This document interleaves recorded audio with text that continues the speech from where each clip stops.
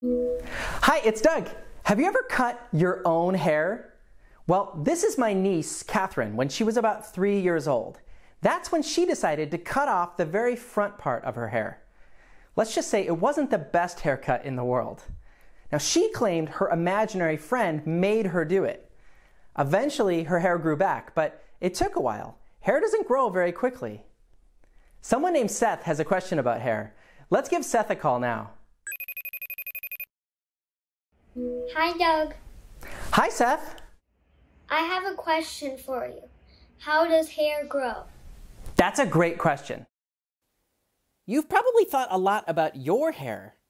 Maybe you have a favorite hairstyle, like braids, like bangs, or a quiff. That's when you brush it upwards and back, like this. You may have even seen Xie Qiuping's hair of China. According to the Guinness Book of World Records, she holds the record for the world's longest hair. Her hair grew 18 and a half feet long. That's longer than a school bus. Or there's Tyler Wright. His record breaking afro is almost one foot high. But how does hair even grow this long? Before we answer, it may be helpful to look at what you already know about hair. You know that people have different hairstyles you know that your hair grows. Otherwise, you wouldn't have to cut it. You also know that it grows slowly, really slowly. Imagine taking a walk outside. Besides hair, are there any other things in nature that grow slowly? Now would be a good time to pause the video and discuss. Okay, you ready? I'm not sure what ideas you may have come up with. But one thing I thought of was a tree. Trees also grow really slowly, like our hair. Could it be that the growth of our hair has something in common with a tree? Like, does our hair grow because we water it in the shower? Well, not really. Our hair would still grow if we didn't get it wet. But in some ways, it is like a tree. Take a look at your hair in the mirror.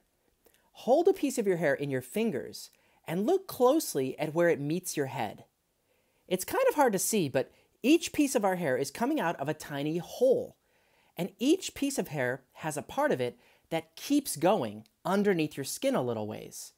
Just like a tree has a part of it that keeps going underneath the ground. The root. Does each piece of our hair have a root? Well, you can't see into these holes very easily, but using microscopes, scientists are able to look down under your skin to the bottom of that hole.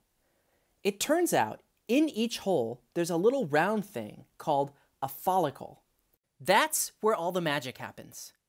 You see, scientists have discovered that just like the roots of a tree soak up water and nutrients from the earth, a follicle soaks up nutrients from the food you eat and turns that into the material that your hair is made of. As the follicle creates more and more hair material, the hair material begins to pile upwards in a column, eventually poking out of your head. That's what each strand of hair is the piled up hair material made by each follicle. The bottom part of each follicle is actually alive, which is why it hurts when you pull a piece of hair out. But the part that you see, the hair material that piles up, it's dead so you can cut it and it doesn't hurt. But what would happen if we never cut our hair? Would it just keep growing and growing, like Rapunzel's hair entangled? Well, it would probably get really long. But even though your hair would grow a lot, it would never get as long as Rapunzel's. There's a reason she's a made up character from a story. That's because in real life, each hair on your head stops growing after about five years. Then it falls out and gets replaced by a new hair. So each hair on your head doesn't keep growing forever because we shed our hair. You've probably noticed this in pets too. If you own a dog or cat, I bet you've seen lots of fur around the house.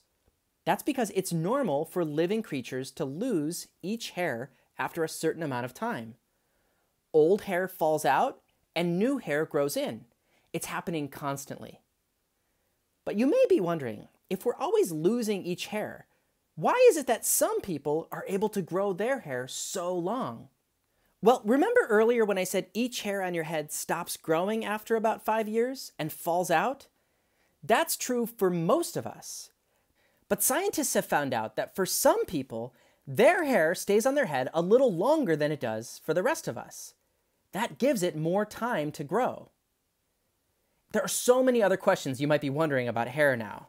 Like, why do some people go bald as they get older? And why do people have different color hair?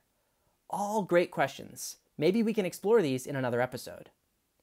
So, in summary, hair grows from tiny round things in your head, called follicles.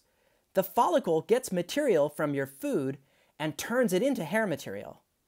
As the follicle creates more and more hair material, it begins to pile upwards, eventually poking out of your head. That's all for this week's question. Thanks, Seth, for asking it. There are mysteries all around us.